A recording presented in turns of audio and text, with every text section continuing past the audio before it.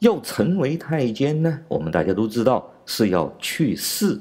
去世呢是一种文雅的说法啊，翻译成大白话呢就叫割掉小鸡鸡嘛。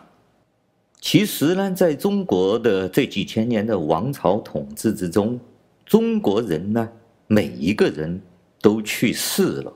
请大家注意啊，并不是太监才会被割掉小鸡鸡，而是每一个中国男人都被割掉了小鸡鸡。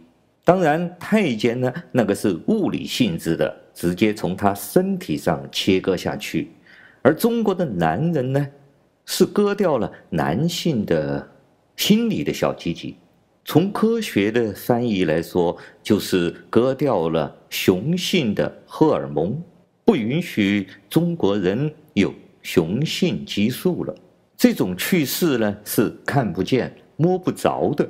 但是我们每一个中国人都可以体会得到，比如说什么叫雄性呢？雄性就代表着不屈服，代表着勇气，代表着男人味，代表着男人可以保护自己、保护家人的力量。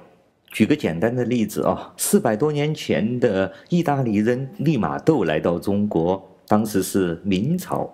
他在他的书里面这样写：“我在中原走过了很多地方，也见过了无数多的人，给我留下最深刻的印象就是这里的男人都像女人，他们留着长长的头发，花在整理梳理头发的时间比女人还要长。他们还留着长长的指甲。他们同样爱好争论，一争论起来呢，就开始对骂。”骂的整条街都能听得见，面红耳赤，脖子上的青筋冒得高高的。他们出口成章，骂的脏话从七大姑八大姨一直可以骂到祖先十八辈儿。但我从来没有见到过他们会像男人一样战斗，更不可能发生像我们欧洲人那样的男人之间的决斗。通过这些第三者的观察。局外人的眼光，你才会真正的理解自己，理解自己到底缺了什么。所以说，我的理论就是中国人都被去世了，不仅仅是太监物理上的去世，还有中国男人去除了男性的基因、男性的荷尔蒙。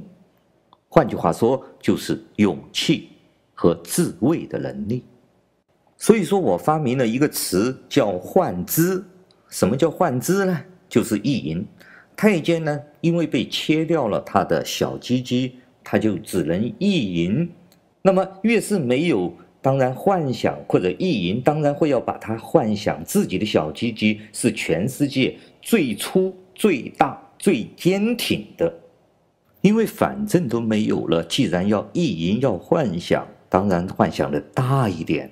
过分一点，这就理所应当了嘛。所以说，自然而然，我们的想象力有多丰富，我们幻想的我们这个小鸡鸡就有多大。所以说，我们会出各种穿越的小说啊，我们会幻想自己穿越回古代，用自己最粗、最大、最坚挺的小鸡鸡去征服历史上所有的美人，甚至连很多中国的游戏也是按这个套路来制作的。比如说，在我节目里面打出的什么日理万机这类的游戏，就是穿越回古代，拥有了无数的美女，天天让你那个全世界最粗最大的小鸡鸡去征服他们嘛。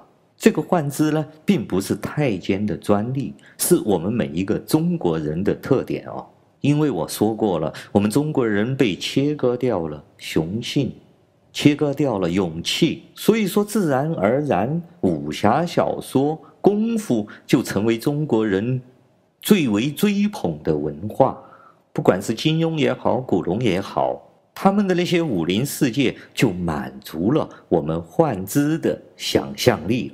霍元甲、李小龙、成龙、李连杰这种功夫打遍全世界，这种意淫，自然而然成为我们中国人。最喜欢、最欣赏的明星，他们创造的各种电影里面的角色，成为我们的民族英雄，成为我们民族文化的重要基石了。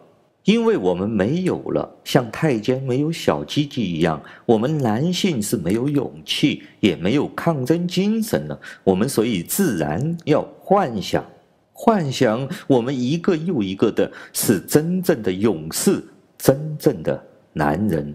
有积极的男人，有全世界最大、最粗、最坚挺的积极的男人，因为在现实中，我们都是去了世的男人。